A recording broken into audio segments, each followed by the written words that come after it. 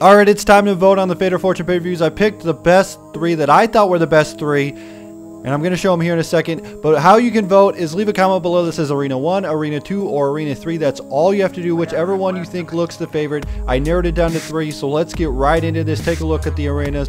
And again, leave your comment Arena 1, Arena 2, or Arena 3, whichever one you want to win.